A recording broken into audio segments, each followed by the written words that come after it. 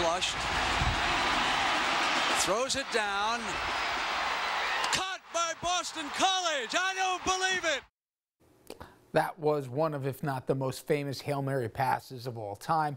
The Miracle of Miami, Doug Flutie's BC College beat Miami Hurricanes in the 1984 Orange Bowl. You may ask why I'm talking about this. Believe me, I'm getting to a point. There's a piece in The Atlantic that says Trump's legal team would need three straight Hail Mary passes for it to succeed in overturning the election results. Now, as the president and his supporters continue to say that there was widespread fraud, they have yet to present any shred of any evidence.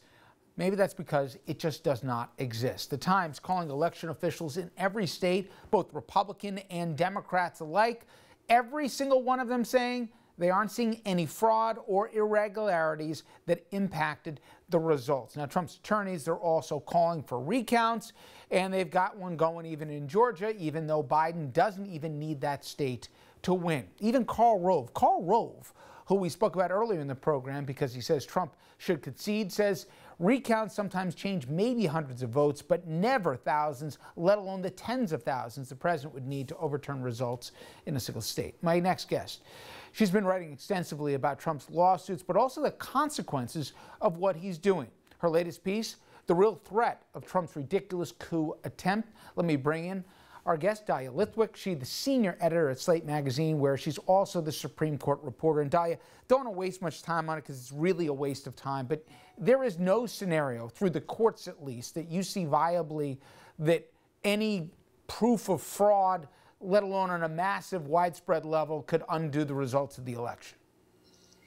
No, uh, I think that it's a mistake to even think of this in terms of 2000 and Bush v. Gore. It is not comparable where you were talking about 327 votes in Florida that make the difference. That's the pivot that the entire election turns on. Here, you've got multiple states. So even if one of these Hail Mary lawsuits, say in Michigan or in Pennsylvania, were to succeed, uh, there's just no possibility of having, uh, you know, recounts and then getting a couple, picking off a couple hundred ballots. And we're talking about thousands and thousands of votes are in the margins in multiple states. So it's it's a mistake to think of this in terms of Bush v. Gore. I think the way to think about it, as you said, is kind of a bunch of Hail Marys, throwing a bunch of spaghetti on the walls in a bunch of states, and slow walking the certification. Okay. So if we agree the result will be the same and it's delaying the inevitable, it doesn't mean that there's not real damage uh, being done here. And I'll give you my real concern, Diane. I know you wrote about uh, a few of those, but if all of a sudden states uh, where you'll have the state legislature um, being, let's say, of a different party than that voted for, for Biden here of the general population. And now we're starting to get into a world of electors not following uh, the will of the people, if you will, of the vote. You know, can we have, I said this line yesterday, uh, you know, we, we don't get to have any good things. I mean, we can't even trust an election. People try and make it illegitimate, and now people won't even follow the votes when you get to electoral college. I mean, are there any norms that we can count on anymore?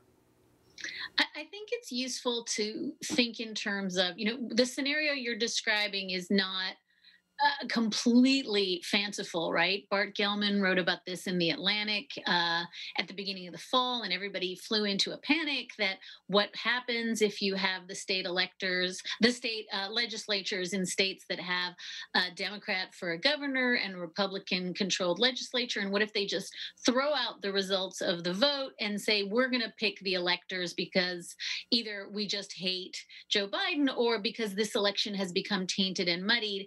And I I think there is certainly a scenario in which that happens. And um, Bart Gellman interviewed people in the Trump camp who were kind of poking at that.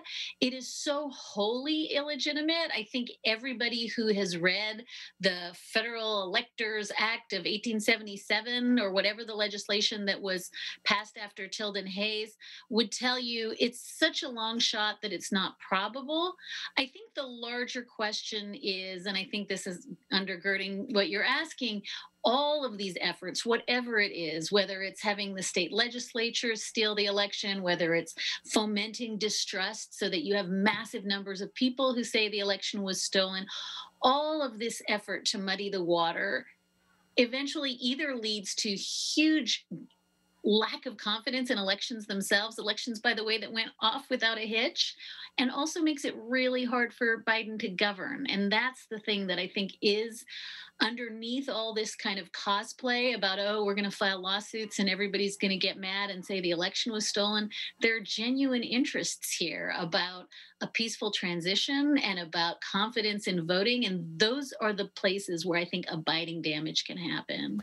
You know, Di, earlier uh, this program, uh, I spoke to Senator Van Hollen, who was talking about what's going on in the Senate and some of the enablers uh, for this president. But how, I, I, don't want to spend an hour relitigating Bill Barr. I, I still don't know what happened to him. But the idea that even in the 11th hour, even after he wouldn't play some of the reindeer games the president wanted him to, that now he's, you know, basically putting DOJ in the middle of it again tell me there's some comeuppance that'll come for these folks who knew better and still went along.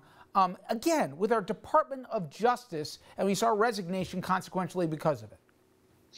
Yeah, I think that for those of us who had noted that Bill Barr had gone really silent in the last couple of months, that don't forget, this summer he was making the same cockamamie claims that the president was making. He was saying, oh, you know, by definition, mail in ballots are corrupt and foreign governments are going to steal them and stuff the ballot box. All that was happening.